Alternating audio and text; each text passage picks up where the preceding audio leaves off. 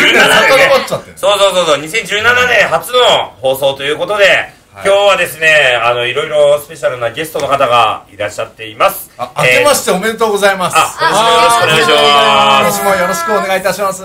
そう、そうですね。えー、っと、じゃあ、端からご紹介していきますね。えー、っと、身体改造ジャーナリストの前田さんです。テロッピー。イエイ。イエイイ。エそしてですね、あの、伝説の雑誌、皆さんご存知の通り、えー、っと、バーストの編集長のピスケンさんです。イエイイエイ。イエイイエイカメラカメラあっちだからカメラ。をなくてそうそうそう。それでですねあのー、そう、今日からですね、名前が変わりまして、えー、っと、きなこちゃんって名前になりました。よろしくお願いします。おお願いしますで、量と有限でお送りしております。お願いしますでで向こうは？でですね、えー、と、ちょっとですね、ここの間に一人、実はですね、もう一人ゲストがいるんですけど、えー、と、なぜいないのかっていうとですね、えー、と、今日はですね、ライブペインティングをちょっと最初にやっていただこうということで、ちょっと今スタンバイしていただいてるんで、ちょっとそっちの画面に切り替えてもらってもいいですかね。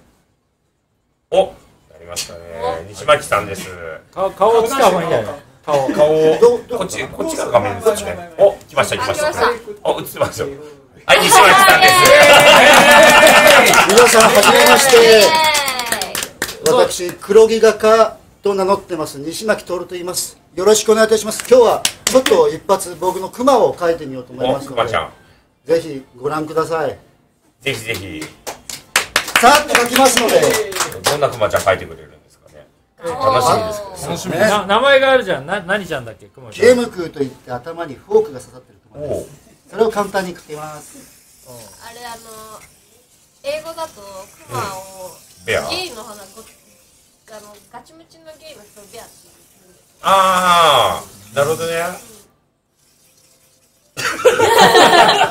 まあ広がらなかったね。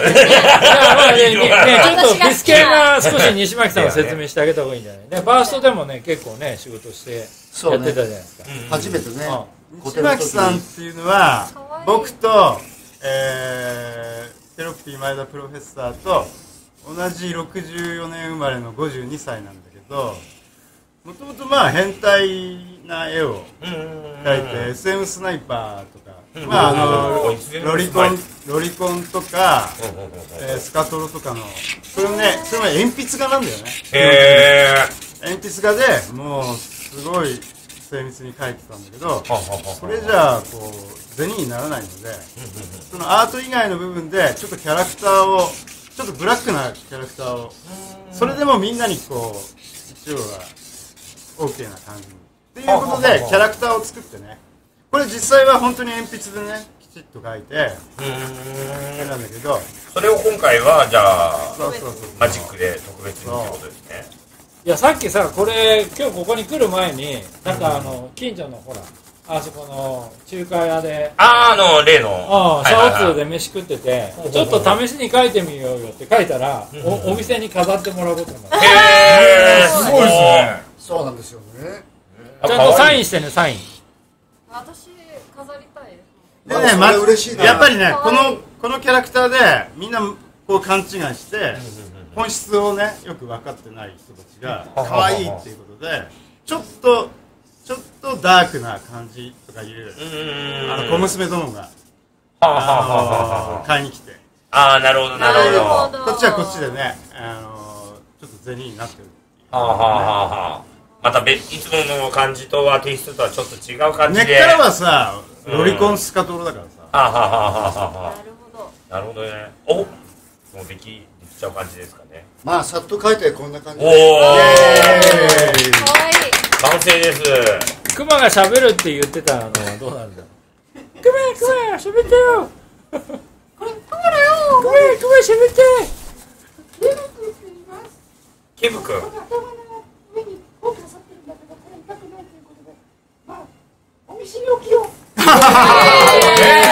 ごいね。そうね、ケブ君ですね。お、こっちの画面になりあ、ます。これ、後ろに置いといたら映ったりするの後ろ置いときましょうかあ、じゃあ西巻さんがここ、それ持ってここに来て、西巻さんがそろそろ登場しますので。お、すごいなすごいすごい。なんか結構ささっと描くんだね。まあ結構ね、これ、ライブペインティングっていうのもおこがましいけど、まあ何回か後ろから来れるかな。うん何回か自分もじゃあ後ろから。西巻さんの後ろに。あで乾杯しましょうか乾杯で西巻さん。そうそう西巻さんの後ろになってる。にそのああそこら辺に。うん。西巻さんの絵あ見たことある？あ本当に？うん。じゃあちょっとここにまあまあまあちらっと映前のるか方がいいかもしれないですね。もしかする私の前に一番みんなの邪魔にならなければあこここだったら見えるのかな？あ見えます。あ見える見える。ここでななんかまあブスケンさんにすごいメッセ前ージに前に。あ 前に。そうなんだ。よねここに。飲んじゃまずい。さんの兄弟みたい。飲んじゃまずいんだけどさ。うん。早く西巻さん座はいって。じゃあ飲んじゃったよ。じゃあ乾杯しましょう乾杯。すいません。間を失おいじ礼しますはい。ゃあ乾杯しましょ乾杯しましょ大丈夫。かうおっとちょっと自分がデブなばかりに。あ りがとう。あありがとうございますじゃあ2017年もよろしくお願いします。イエイイ。乾杯。乾杯。乾杯。乾杯。あ美味しいそう前回ね、あのー放送の時に、あのー、ピスケさん出ていただいた放送の時がですね、ちょっと自分がちょっと行けなかったんですけど、そうなんですよ。だから、ピスケさんはじめましてですよね。ピスケンゆ行方不明事件っていうのもあったしねそれ同じ日ですあの、電車の中で見てました。そう、ピスケさんね、ずっとお会いしたかったんですよ。ありがと伝説の雑誌、バーストですよ。あの、皆さんご存ご存知ですかね？持ってきてくれてるから。じゃあ西巻さんがバーストの説明してくれるって言っら。おみの西巻りさんよろしくお願いします。はいはいはいどんどん。まあバーストといえばまあこれで反射してないかな。これ、あ、反射しちゃってるかな。ああいいですこの方がいいかな。あ、それ4も持ってますよ。今日もちょっと4も持ってます。多分ね、みんな持ってる。あちょっと西巻さん早く説私明を。買えなかったから持ってないんです。まあ僕はちょっとこの曽根さんがこの編集してる「バーストっていう雑誌とは経路が違うことで、まあ、僕持ち込んだわけなんですけど、まあ専門的に言うところ、まあ、ドラッグタトゥーの非常にこうアウトロ雑誌と言われてますよね。まあでもちょっとまあ僕のことから言わせてもらっちゃうとやっぱり当時こういう過激ないろんなものを含んだ雑誌っていうものがあまりなくてそれでまあ僕は自分の居所がなくてね自分の絵とかがね。でまあ思い切って門を叩いたわけですよ。でまあその時が第2回目の個展だったわけなんですけどまあ曽根さんが快く気に入ってくれて。あれ 10, 10年前10何年前か。これ2003年だからまあうん。11年ぐらい前。あこの号が最初に載ったの。そうそうそうこれね、あの普通の本屋さんでも売ってたんですよ。そうあの普通の大きい書店でちゃんと平積みされて私あれあの年齢的に買っちゃダメなセクションに入って読んでました。あそう。意外とね、でもね、普通に今ビレバンとかにありましたよね。あったあったあったあった。でもね、本当に普通にコンビニでもあったしね、確か。あありましたありました。扱ってたあ店ある。うちおじさんが家にたまにあってなんか今ちょっとメディアがうるさいから、あああこれあー、これか。はいかわいい。ここれれアップになりますあでも出しちゃダメあ、出しちゃダメ大丈夫。大丈夫消しがあるあそっか出しても大丈夫。消しがある消し入ってるんで大丈夫です。あ、大丈夫大丈夫。そういうこれちょっとまあアップにしてもらっていいですかね。これをね。西巻さんのねね、こういう映画あるんですよ。まあちょっとねさっきも言ったけどバーストとは毛色が違う、まあ、自分の絵なんだけどまあ自分でも言うようなんだけど過激っていうことでね性的な冒険をしてる過激っていうことでは、まあ、ひょっとして編集長分かってくれるんじゃないかなと思って。でも何よりこれで鉛筆画だからね。そうね。鉛筆一つでやってるから。うん、すごいですよね。これ書き上げるのに大体何分ぐらいなんですか？いやーもう何分っていうか、まあ、何分？っていうかな、どんぐらい時間かかるんですかね？まあ全部こうアイデアからスケッチからやっていく1ヶ月ぐらいですかあ、ね1ヶ月ですね。うん。まあ早い人はもっと早く仕上げますけどねうんこの場合は結構ダラダラとやってるんで。はあ、はあはあはあ、なるほどなるほど。でもすごいですね。ありがとうございます。あなんか作品集が出たやつとかどんどん宣伝したらいいんじゃないですかえー良さも悪いけどさそのなんだっけあれちょうだい。10あのウーロン茶だかなんだか。だ個展から13年かかって、まあ、やっと一昨年かな？雑誌を出してもらったんですけど、ほうほうほうほう。まあそれはあのアトリエスタードというあの出版社からね。はいはいはいはい。トーキングヘッズという雑誌を出してトーキングヘッズ。うんうんうんうん。でそこで出してもらったのがまあそういう雑誌なんですはあ、はあはあはあはあ、この画集ね。えこれアップになります？ねこの。これはねあこっちだ。これはああこまた違う。これはね僕のあのトークショーやった時に小冊子でうん僕が今まで影響を受けた映画とか小説とかねそういうものを全部網羅した、まあ、雑記帳みたいなもんかなでざあの画集っていうのはそそこにあるの？ちょっと撮ってもらってわかるんですけど。ここてるあこれね。これがあのアトリエサードっていう会社から出してもらった僕の初の画集なんです。うーん。どこで売ってるんですか？これはもちろんあの紀ノ国屋でも純駆動でも。あもう書店書で。今日はなんかねちょっと観覧でアトリエサードのね鈴木編集長があ皆様ですね。なんか言って編集長宣伝。みんなせ歌集買ってください。編集長さん画集を買ってくださいということで。ぜぜひぜひ。さんが大好きなゲロも。あわしが大好きなゲロ見どころどこでしょ見どころ、うん。見どころゲロかなやっぱゲロ。ゲロいいですよね。ゲロはするのは好きです。ゲロもローションも好きですよ。あちょっと違うとぜひお買い求めあもうぜひぜひ。あのぬるぬるしてるのは基本的になんでもあもう好きなんですヌメヌメしてますよ。あちらっと見せてあげたらいいんじゃない？あのでデータ渡してるんだっけ？後ろに。データ。うんあそれがですねあののちょっと今後半の方にっていう話になっててちょっとまだまだですよね。あオッケー。オッケー出ました。データがじゃあちょっとご覧ください皆さん。はい。えっ、ー、とあこんな感じのちょっと横こ逆れは横向きですけどね。うん。じゃあ次のとか緻密だけど。あーあすごい。まああのちょっとみんなこう分かってくれる人がいないジャンルを僕は書いてるんですよ。あはフまあ例えばね。ェフェチですよね。まあフェチはフェチなんだけうんど結構フェチっていろいろとこう細分化されてうますので僕はね特にこのクッションがねうんすごく好きなんですよ。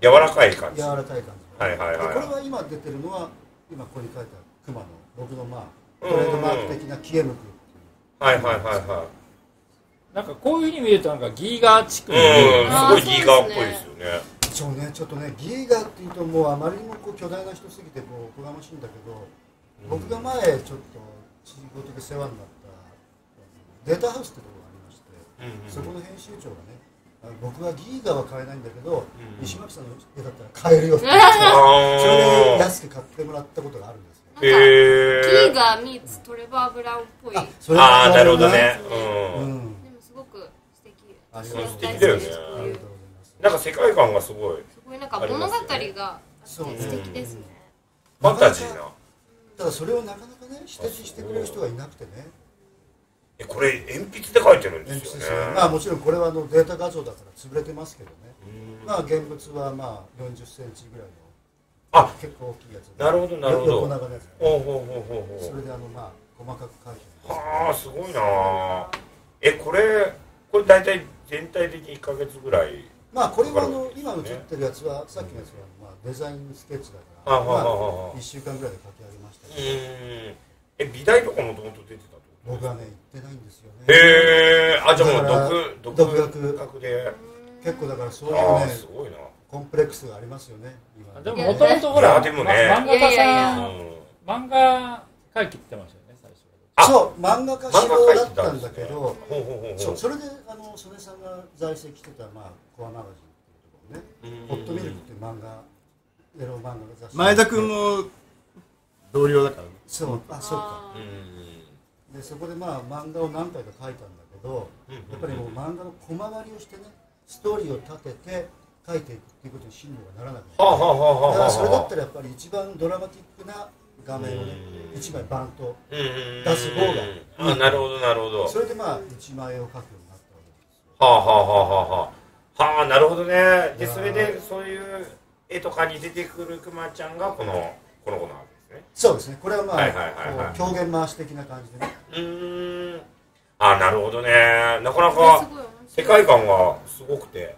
うん。なかなかいい場所がないんですよね。あそうっすか？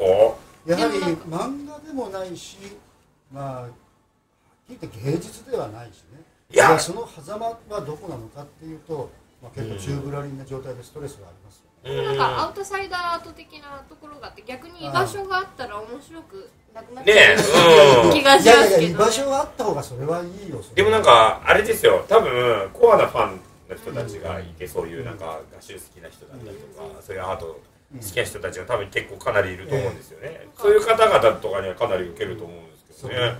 まあ、そういう人たちが僕の絵を少しでも見てくれれば、そうですね。なん。かこれそうこれとかすごい、あの今ちらっとね。読ませていただいたんですけどうん。すっごい面白いです、そうこれどうどこら辺で今でも紀ノ国屋とかではあ、あのアトあミサード本本はの画集はアマゾン紀ノ国屋でもアマゾンでもアマゾンでみんなアマゾンでもね。これをこれが一番手に入りやすいんだよ、うん。うんあいいや持ってたけど持ってこういうこれこれが紀ノ国屋さんとかで売ってるやつですよね画集が。まあ最も平積みされてる売れっ子の画家の画集の絵にはいきませんけどね。まうん。あ棚出しで1、2とか、まあ、今でももちろん入手ができますんで。うんうんタコシェとかに売ってたりとかはしないですか？タコシェはどうなあんだろう。鈴木さんどうなんですか？タコシェは。あタコシェもやっぱり棚出しで12冊ぐらい。あなるほどなるほど。じゃあね中野のブロードウェイのねタコシェとかだったりとか代々木駅のところにある紀ノ国屋さんとかなんかそういうところにはね。うん売ってるらしいのでもうぜひぜひぜひぜひ。ご購入ください。これをねえー皆さんに買っていただけるとまた次の画集につながるっていうことがうんそうですよね。やっぱりまあうん絵描きとしてはそういう機会を持ちたいと思ってあのね。バーストではねうんうん。っていうかね俺はもともと10代の時に絵描きになろうと思ってたぐらいだからあの絵に関してうるさいの。はあと漫画に対して。漫画家になろうとも思ってたから。あ漫画家志望だったんですねで漫画俺が連載させた人っていうのは漫画家さんは2人だけなの。うん。うんうんそれは1人は東洋片岡さうんうんん。もう1人は山野はじめさん。どっちもまあガローだけどです3人しかいないのね絵描きはそれは1人が天明屋さん。あ4人かな。天明屋さん。天明屋久さんはもう大ブレイクして大変だよね。で佐藤勝彦。っていうやはり絵描き。で西巻さん。でもう一人はイラストレーターだけどあのすごい誰でもまあ絵見たらわかるえっ、と誰だっけ？誰かえ高見君の高見くん高見くんあー。うんあのこの4人なんだよね。そうだからそれをね杉さんから後に聞かされた時にはいはいはいこの雑誌で抜擢された絵描きこれはがそんなに少なかったのかうんうんうんとそういうふうに思ってねうるさいからねとにかくあそうこの絵ね。この絵ね毎回ねすごい好きだったんですよ。なんか和風ななんかこう、うん。今今の現代と江戸時代をちょっと混ぜたようそうですね感じのあれでした画よね。なんかすなんかねあのからくりみたいなね、うんマシーンみたいなそういう絵があったりとかまあ独特なこの彼のそうそうそうそう。想像上のメカニックが出てきましたよね。うーん。あとなんか西巻さんそういえば最近ほらフランスのテレビに出てそうなんですよ。ねあのおおちょっと話題じゃないですか。フランスのテレビ言わないと。うんフランスのテレビって言ってもまあ地上波じゃないんですけど、うんうんまあ小さいななんあれは。あでもケーブルでやってるんでケーブルあの100万人ぐらいは見てますよ。ただその時はねあのまあ僕の絵というよりは、あのラブドールですよね。あラブドール。ラブドールの取材官がフランスから来て、はいはいはい。その中でまあ僕も一人のユーザーとしてね、うんうんうんうんうん。まあ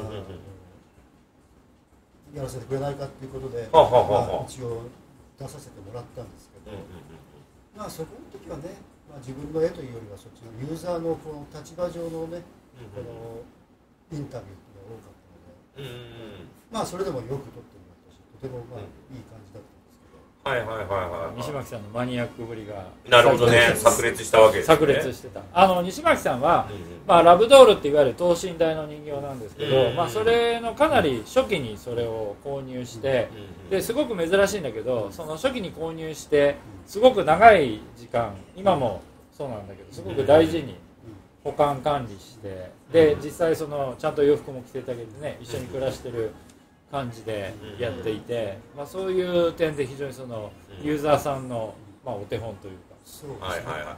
まあ、あのオリエント工業という、まあ、一番うん老舗の、まあ、ラブドールのメーカーですけ僕が所有している2003年の制作っていうので、これほど保存状態がいいのはなかなかいないっていうふうに、はいはいはいはいはい。メーカーから言われまして、まあ、そういうはところもあってね、まあ、かなりこ2003年ってことは12年前。そうですあもっとか。えっ、と、まあ大体そんなもん。14年前ぐらいとかですよね。うん。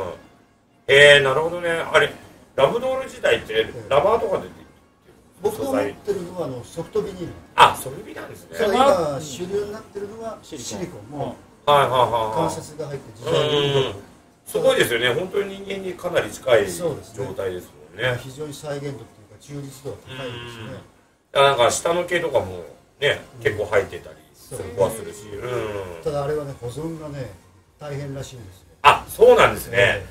劣化しちゃったりってことですか？そうですそう劣あ化だする。からあれができてまだ数十年も経ってないのでうん。要するにこの素材から出る油のにじみとかうんあーなるほどね。っていうらしいんですけどはいはいはいあれがはい。はい後にどうなるかっていうことがねあまだ未知な。は検証されてないかあら当時だから CD っていうものができた時は CD がうんどれぐらい持つかって分からなかったうです今はまあ大体分かりますけど。はいはいはいはい。ラブドールのそのシリコンのやつはうん今後どうなるか分からないはいはいはい。はいれだけ払っ高額60万100万ってお金を払って購入してどれだけ持つのかなはいってはいいうはいはい感はい。まあそうですよね。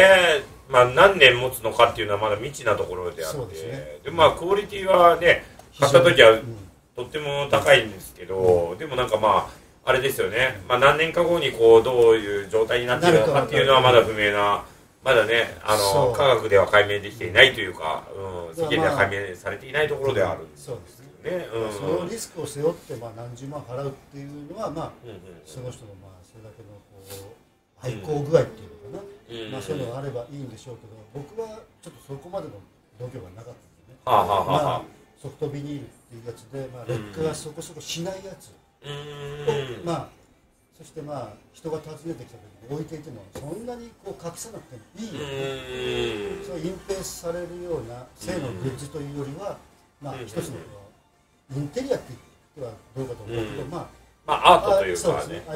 アイ今だって結構ツイッターとかで本当そのラブドールとの生活を記録して毎日ポストしてたり、いますね。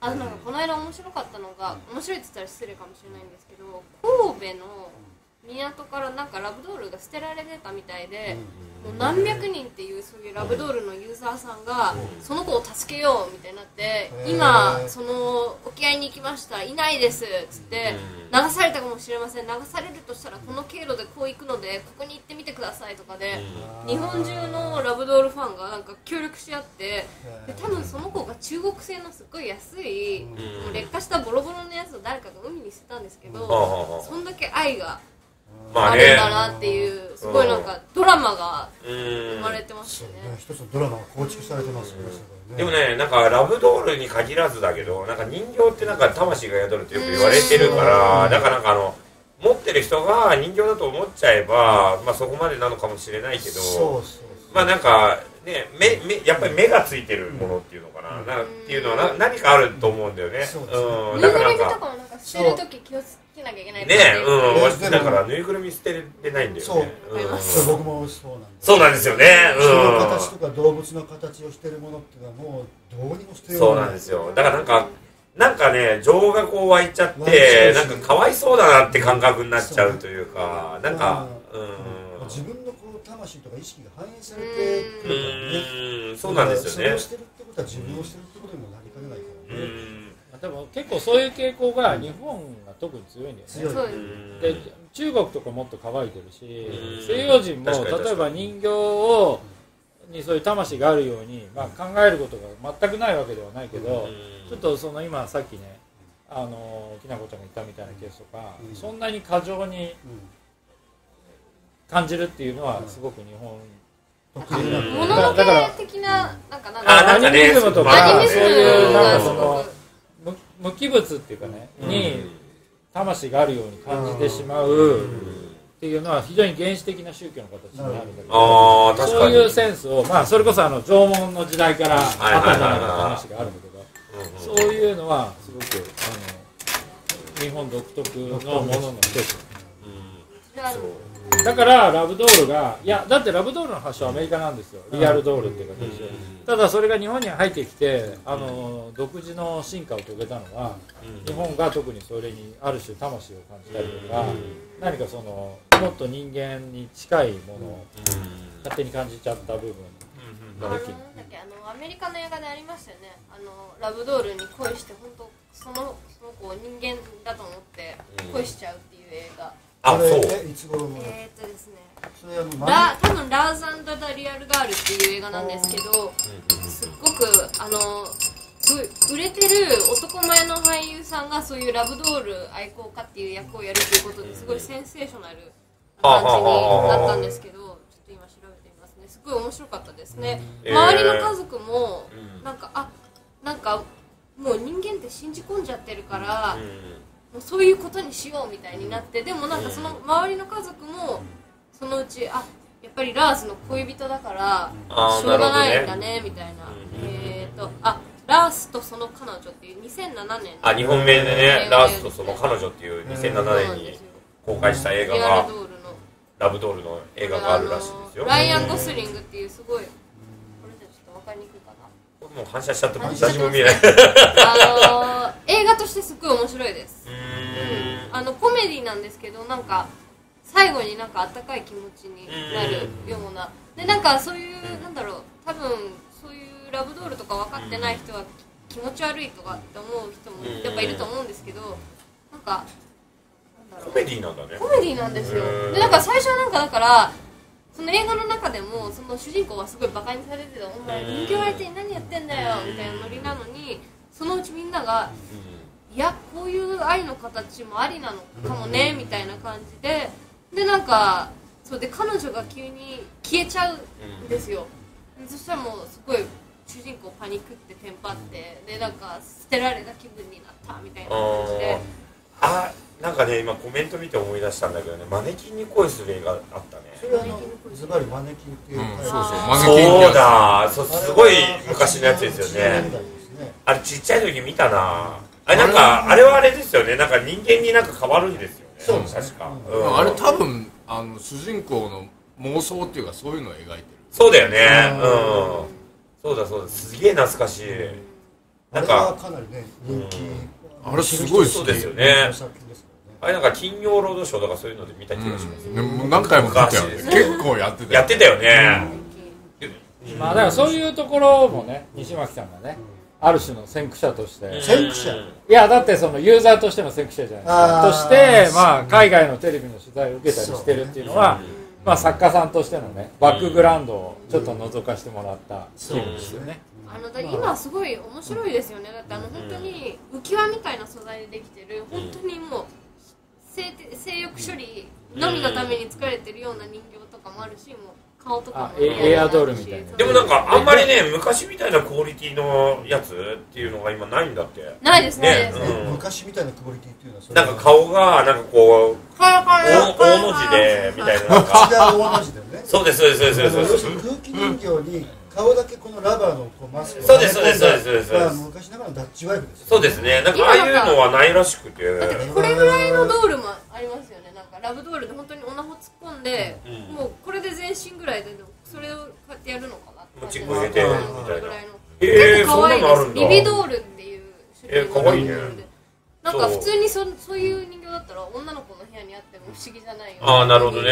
とか。まあそれで言うとさあの、うん。天下とかもそうだけど、うんオナホールとかオナカップとかも、もうすごい一つ一大ムーブメント。確かに。うん。でも今ファッショナブルなエログッズって多いですからそうでね。すそうですね。なんか天下とかなんかアーティストコラボとかしょっちゅうしてねしてるしさあのあれだよ。バイブとかもさあのバイブレーターとかもなんかすごいなんかナチュラルなっていうちうち家にね。転がってますもんね。ねなんかしかも結構高いからね転がってるのかうなんかベッドサイドのテーブルにポンって置いてあってもうん別になんかなんだろう陰秘な感じがしない。そうそうそうそうそうあ何これなんかなんかどっかの作家の作ったオブジェみたいな、うん。でなんか見る人が見ないとわかんない。そうですというかね。そうですうん。そういうものが多いから。まあなんか見方によってはすごいなんかあの芸術的というかねうん。なんかアーティスティックというか。うん。なんかその滑らかさ曲線がなんかすごいなんかうん。いいっていう人もいるだろうし。うん。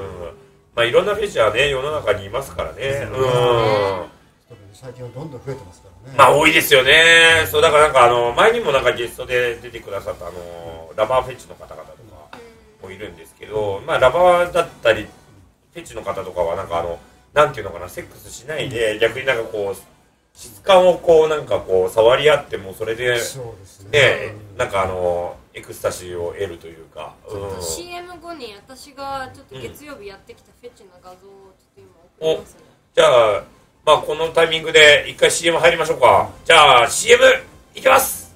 チャンネルはこのままでね。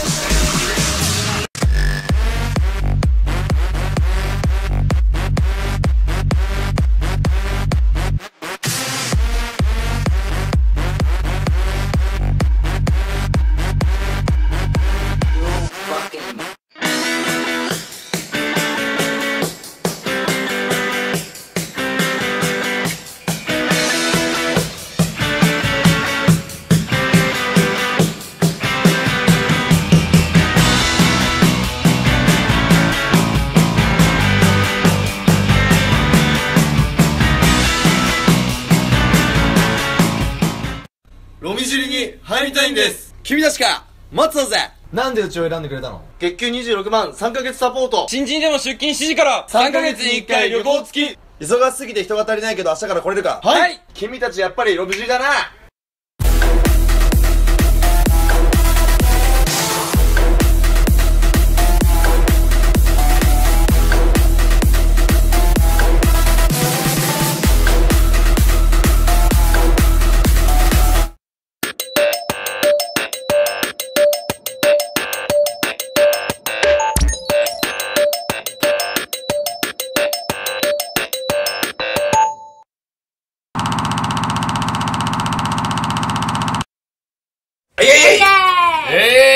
CM ました。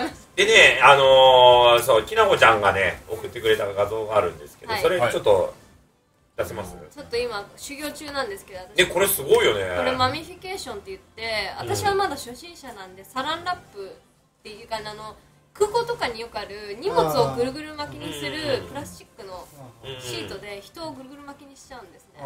うん。で、まあ、これはこれはちょっとふざけながら、そのしかも上にメモを取ってたんですよ。私は何何をどうするかとかあの、 knee pad あの内側に入れるとかあと朝立ちって英語でなんて言うのって聞かれたんで朝立ちを英語で書いてる。なんかそういう。朝起きてなんて言うの？朝立ちは morning wood って言います。 morning wood。でここなんか乳首のなんか窓の作り方とかチンコの窓の作り方とか安全第一とかいろいろ言ったんですけどこの人は本当にもう顔顔はこれ呼吸できる素材なんですけどうん。頸椎カラーつけてもう完全にガッチガチになってる状態でチンチンは立たないんですけどもそれがすごい彼に最高な気持ちなんですね。でなんか後々言ってくれたのはあの私がペンで書いてる時のペンの感触がすっごく気持ちよかったっていう。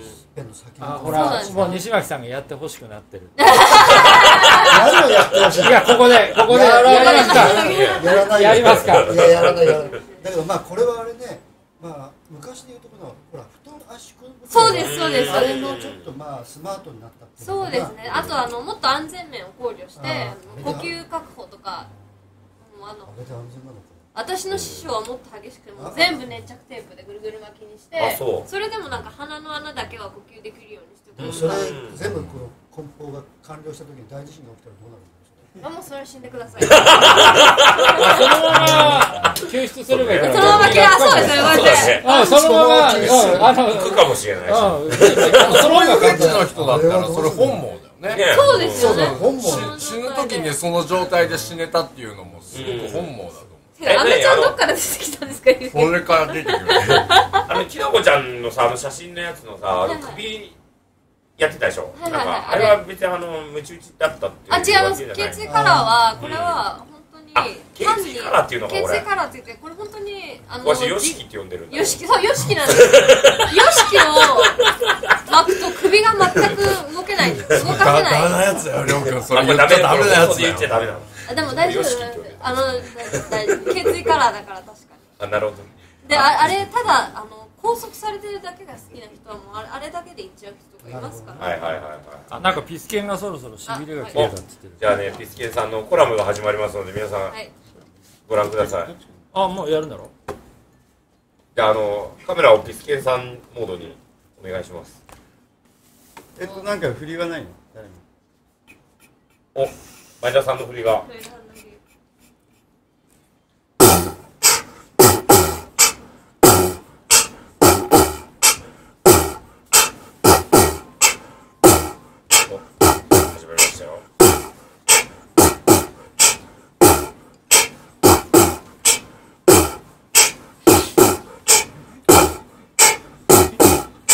大気温は30度を超していた。住宅街の路地を選んで歩いた。路地は静かで猫一匹姿はなくアスファルトは清潔だった。うつむいて自分の短い影を見ながら歩いた。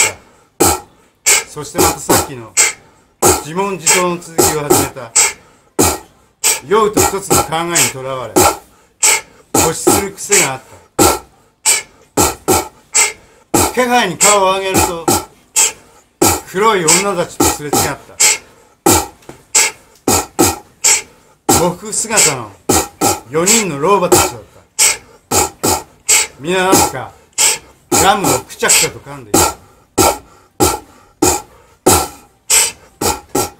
私は空を見上げた。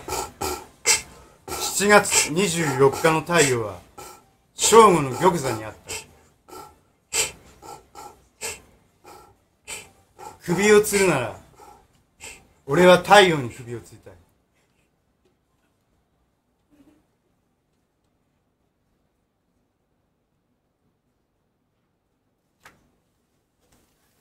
イェイイェイイエイ。というコラムですね。コラム？コラム？コラム、なんて言うんですか？これは紹介した方がいいいいんじゃないの？これは何？振りがないままやったからね。な、なんていう言い方をするじゃあね。今のは。えー、っと今のはあどっから言えばいいのかな？あのまず僕と、えー、前田君とではいはいはいはピスケロっていうユニットを組んでい。て。おユニット。彼が、あのー今日はね、こういうのなんていうの？口で言うの？口で言ったりなんだり。えー、まあリズム。あうん、まああのビートボックスをやってヒューマンビートボあ、ックス。ヒューマンビートボックス。やったり、あの、こう、ボーっていうのなんだっけ？あディジュリード吹いたりとか。ね吹いたりねそれに俺が自分の詩を、乗せて。こう、ポエトリーリーディングするっていうのが僕ら、えーピスケロのああ、なるほど。ユニットの。ユニットのあれなんだけど、今日はね、あの、俺の書いた3分の小説の、えー一部を読んで、それも今、完璧なアドリブでやってみました。お、前田さんもうちょっと上ですね。これは、これは販売してるんですか？そうそうそう、これがね、あの、ちょっとファースト前回持ってきたと思うんだけど、これね、小説本なんだよね。おー。あちょっと手伝ってもらえますか？これね、俺たちの世代だとあれなんだけど、7インチの、おレコード7インチのレコード、シングルショシングル版の掲載で、あ、こうスリーブの中にスリーブの中に、レコードの代わりに冊子が入ってる。あーなるほど、なるほど。それも A 面、B 面に短編が2つ入ってる。ここれね、セカンドでさ、架空の俺たちバンド名があって、ザ・シェルビスっていううんバンドがあって、俺の名前じゃないのね。うんうんつまり、バンド、バンドはデザイナーだったり、編集者だったうんり、っていう、俺たち4人の、えーバンド名がザ・シェルビス。で、中に、俺の、えっ、と、レコーディングしたものじゃなくて、えーちゃんとした、えー、と活字で入ってる。うーん。で、これが、えっ、と、ファーストが、ファーストのジャケットが、えー原節子で、今回のセカンドのジャケットが、原節子っつっても分かんないから読んでる、見てる人たちは。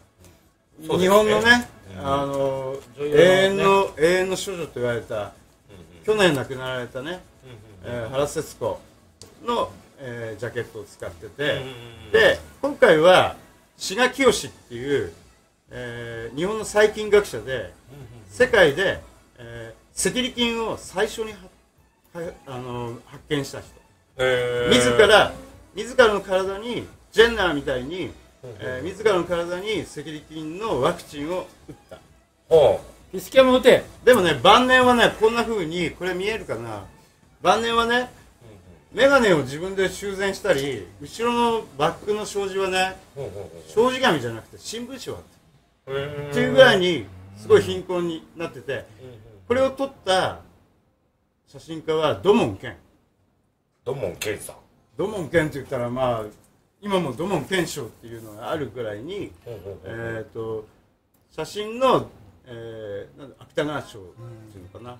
その土門健が撮った風貌っていう写真集の中の一枚で、俺が高校生の時に、これを見てすごいショックを受けてすごい感銘を受けて最高かっこいいと思う。んうん。うでなんでかっこいいかと思ったのはやることやったらこんなもんでいいだろうっていう顔つきしてるの。だってさ若い時にもう世界的に。でシゲラっていう名前がセカンドにはついてるんだけどこれはセキュリティの名前が志賀清から取ってる日本でお日本でたった一人。あの金の名前がついてるのが日本名がついてる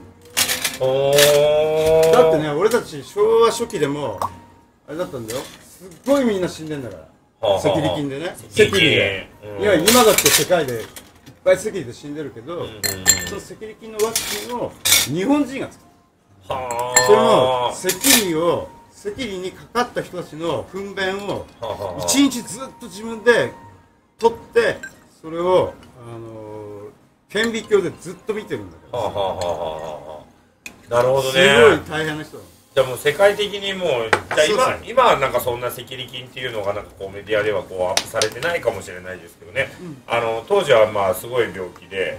であのーまあそれがもうなんかあのこうフューチャーされなくなったのはもうなんか医学がねこう発展したあれだとは思うんですけどその中でそのねあの志賀清さんがねあのーこう努力してねなんかいろいろやってくれた賜物だと思うんですよね。でうんじゃあなんでこれをジャケットにしたのか。うんうんうんそれはただかっこいいからなん。だよこの写真自体。あこの顔とこれを撮った土門剣これがす作品なの。はいはいはいはい。で中身はまあこういうものに頑張ろうよみたいな。うんうんうん中身はあんま関係ないかもしれないけどもそういうようなジャケット。これジャケ買いだからさはいはいはいはこうやって飾っとけばいいぐいはいらいの。うん。まあ中身なんか読まなくたっていい。そうですよね。そうだうさっきでもこの読んでくれたよねこの中をね。あその一瞬 A 面と B 面のうちの A 面のちょっと5行ぐらいを。んうん。なるほどね。じゃあもっともっといっぱいあるわけですねこの。A 面と B 面は短編2つ入ってるから。タイトルぐらい言ったの。あタイトルがね A 面が親知らずのシャレ工うんうん親知らずってあの奥のねうん。親知らずのシャレ工で B 面が物もらいの数。珠また暗い気持ち悪い名前だよね。物もらいの数。珠物もらいってこうこうね目にこそうですね。あれする？うん。最近痛い痛いややつですよね。ぷくって赤くなってはいはいはいはい。その数珠って気持ち悪いでしょ？でもねこれ A 面と B 面は実はみんなに言ってないんだけど落語の中で髪型に骨釣りっていうやつがあって骨を釣るってやつで。で江戸になってあのー、なんだっけん野ざらしっていう野ざらしのシャレ工部っていう落語があって下げが違うんだよね。つまりオチが。ただしこれは A 面 B 面つながってて読んでもらったらこう言わなかったら誰も分かんないけど実はそこにかかってるっていうのもちょっとあるんだよね。うー。んなるほどね。これって今でも販売してたりするんですか？これねようやく発売になりました。おおどこで買えるんですか？えー、っとディスクユニオン。おディスクユニオン。とパンクマーケットあタコシェもタコシェとあタコシェとまあ,、うん。あ俺のブログ読んでもらえばあといろんなところブログ。あとブログで通信販売。あなるほどじゃあブログの通販ディスケンさんのブログの通販とディスクユニオンさんと,、えー、と中野のタコシェですね。限定500部。お500部。たった500枚しかないんで。ただし高い。おおいくらで？えー、っと定価は1600円。お1600円。これはねしょうがないんだよね。うん。こういう形を取った以おお安いですでもね1600円だったら安いよね。うん。上でも普通の本はさ十何作も入っ短編が入ってて1600円とかこれ。300円とか。それこそなんだろう物体物体そうそうそう。俺は元編集長だからこれ物としてうん。ちゃんとみんなに見てほしい。だしねあの本のなんかそのなんだろうななんかドーナツ版にしてる見立ててるような感じのなんかあの感じとかも結構凝ってるしね、うん。これはねあとねこれ見てる人どういいくつかわかんないけど俺は今52だけど二十歳の時に俺が18の時にイギリスでさザ・スミスっていうバンドが、ね、出て、俺が21の時に解散するんだけど彼らがどうすごかったかっていうとまあいろいろあるけれどもシングルがその時もうアルバムじゃなくてシングルがもうすごい下がってたのね。そのあの意味が。でもそれをわざとこうやってたわけ。でこういうふうにモノクロの写真にそれも大体俳優とかそういう人たちのところにザ・スミスって一発だけ入れただけのシングルをねバンバン出した。俺はね東京にバンドマンになるために出てきて絶対レコード出すんだと思ってたのに出せなかった。だから今回まんま踏襲してそのアイデアね。で。今回出してるわけ2枚。はいはいはいだから3枚出すのが俺の企画なんでもう1枚出すから1枚2枚買って3枚買ってほしい。3枚続けてねぜひぜひご購入ください。ということでまあ一旦またね CM 入りますんでチャンネルはまだまだまだまだお話が続きますんでチャンネルはこのままで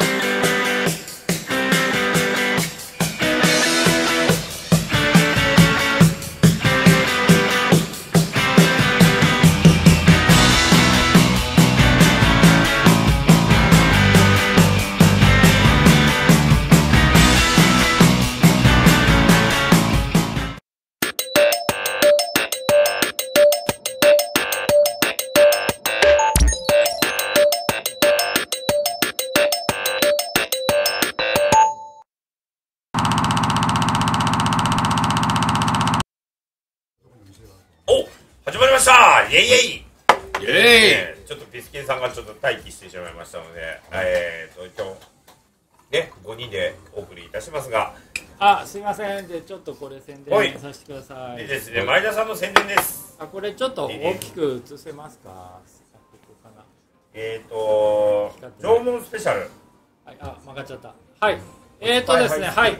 1月の29日、もうすぐ次の日曜日なんですけど、お昼の12時から、まあ、前、前にここに出演した時も、あの、縄文時代のタトゥーの復興プロジェクトの話をさせてもらったことあると思うんですけど、えーそちらの関連でですね、今回、北海道の考古学会の会長の、えー大島直之先生がわざわざ東京に来てですね、えー縄文時代のえー縄文人の頭の中がどうなってたかっていうのを、まあ、あの縄文人の世界観を、え60分講義してくれると。で実はこの大島直之さんが、えー僕らのこの縄文タトゥーの復興プロジェクトの、まあ、ご意見番をやってくれてまして、まあ、この大島直之先生がですね縄文土器は、えー人間の身体を象徴してるんだというあの言ってくれたおかげで縄文土器にあの土偶だけじゃなくてね縄文土器に見られる全ての文様はタトゥーに使っていいとお墨付きをいただきましてですねこの、まあ、あ光ってるかな、えー、と縄文タトゥーの、まあ、プロジェクトがですねあの非常にですねあの豊かな、えーものとなりまして、えーおかげさまで好評いただいてますが、えーこちら、えー今度の日曜日、えーお昼の12時から、えーとえー高田馬場の、ね。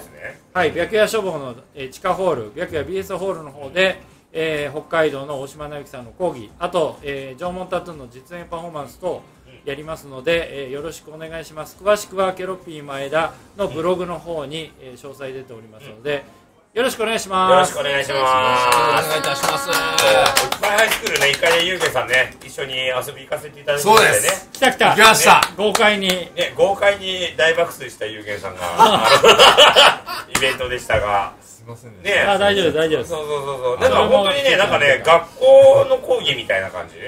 っていうのかななんかそうそう何かを学ぶ場所っていうね。学校形式に。なん。か来た大仏さん大仏さんが入りましたよ。場所ないから。ね、大仏マンが現れましたけど、うん、ね、そうそうそう、今日はね、あのこちらですね、リリン、こうバーストのね、あのスペシャルみたいな感じになってますけど、うん。あね。西巻さんこれ持っといて。そう西巻さんのね、まあ、これはあの、僕の合集もそうそうそうそう、ぜひはい。ぜひ。はいじゃあ大仏さんもこれも。でね、レブさんのレコードもね、レコード型の、こう、なんていうんですか、ポエムっていうんですか、うん、あこれさ小説だよ。小説ね、小説もね、販売中なので、3部作ありますのでね、ぜひぜひご購入ください。えっ、と、大体、あれですよね、あのー西巻さんのこう画集だったりとか、その、大仏さんのやつとかも、あのータコシャだったりとか、なまあ、ね、ディスクユニオンさんで売ってたり、えっ、と、あとはなんだ、あのあそこの代々木の、えっ、と、名前忘れちゃった。えーと紀ノ国屋、そうそうそう、紀ノ国屋とか、そういうところで売ってたりとかしますんで、ぜひぜひご購入ください。で、えっ、と、ちょっとね、西巻さんとビスケンさんのあの、ツイッターがちょっとないもので、えっ、と、前田さんの方から多分飛べますかね？いやあのあと、うん名前で検索すればそうですね。それぞれのホームページとかブログとうん、か名前でなんかググったりすればまあ多分僕あのホームページのブログがあります。はいはいはい。そちらの方そちらでねあの、ぜひぜひご連絡ください。うん。ね、みんなね、バーストわかるかな？見たことあるのかな？見た、あの、これ見てる人は。すごい雑誌なんだよ。あのね、バースト知らない。知らない知らないの？あー知らない。あのね、いやでもバースト知らないような感じの人がこの番組を見てくれてるっていうねありがたいありがたい。ことの方が逆に奇跡だこよれだってこれ出た時私12歳12歳か。でもね、わしね、本当にね、バーストがあったから今のわしがある的なね。あーありますうん。嬉しいこと言ってくれそう。ね。ね本当にこの番組もそうかなみたいな。そう。この番組があるのもね、バーストのおかげですから、そうですね。本当に。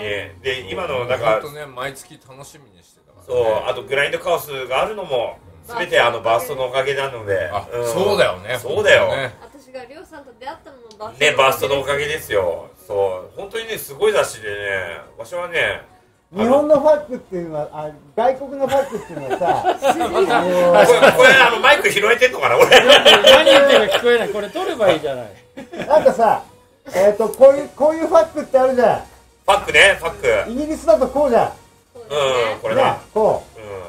あそうなんですう白いやつがこうパーンってやるじゃんそうだよ。だからパンクスとかよくこうやってやるじゃん。ね日本ってこうじゃん。はいはいはいはいはい。これこれだファックっていうは言わないよね。でもこれを全部合わせて。全部合わせて、ファック。お、ああいい。あこうだ。あ、これ超かっこいいじゃん。これ全世界でわかるからね。これ今草これいいな。刈り運動でみんなにこうつなげようと去年からしてるあ一昨年からしてるんだけどみんな全然分かってない。はいみんなで。みんなでみんなでワンあツーファックなんかグワシみたいこれね、グワッシュみたいなね。うん。終わんない？まだ。なままだ終わんない。ですそうそうそうそう。でもね、本当にね、バーストめちゃめちゃ好きで、わしね、あの、家に、家にね、何冊か抜けちゃってるぐらい。まあある意味ファッション誌ですよね。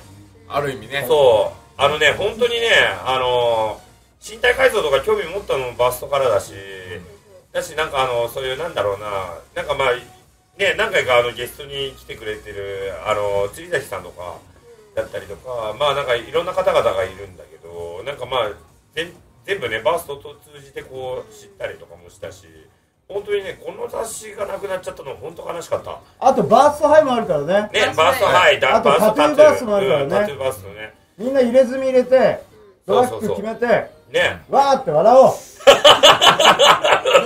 そうよ、そうよ。うんそうよ。そうそうよ。みんなあれ平和ですよねそそうだよ。のねね、俺なんか全身入れいう。墨とタトゥーとなんだか あのー、だったからね。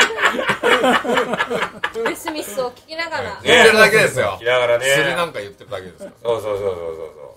サブ大好きだからね。まあ冗談ですからね。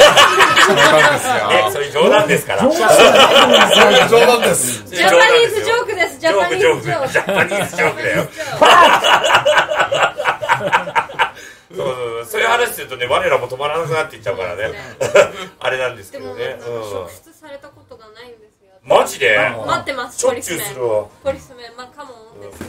この前ね、あの、西新宿で8人に囲まれたかさ30分ぐらい来てましたよねら、ね、お前出せよとか言われて。1分前ですよ。チンコしか出ねえ1よ分前ですよ。チンコ出さないでくださいねそうそうそうそうそう。そうねそうそうそう。されたらそこアウトでしょいや意外とね持ってないですよ。たまたま持ってなかった時。にいやいや。まあ冗談ですよ。冗談ですよ。冗談だよ。冗談ですよ。やんねえからそういうの。ダメ絶実はやったことないです。メ絶対じゃあじゃあ今日はでもほらせっかくのバーストのね編集長のピスケンが来てくれたから。素晴らしいピスことですよケンありがとうね。ありがとうございました。で西巻さんもねありがとうこうね絵がね。あが絵ができた。これ絵がでもう一回きましたモノマネしてモノマネ。10あほら早く。8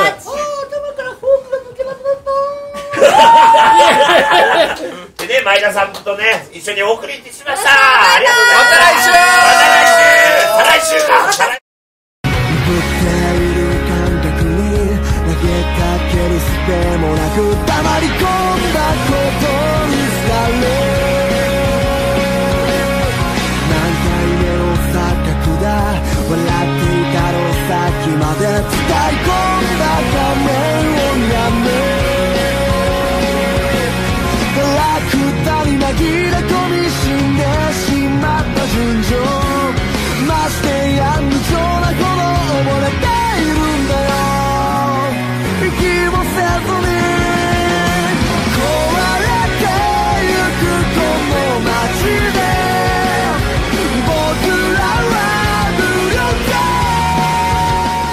この番組はご覧のスポンサーの提供でお送りします。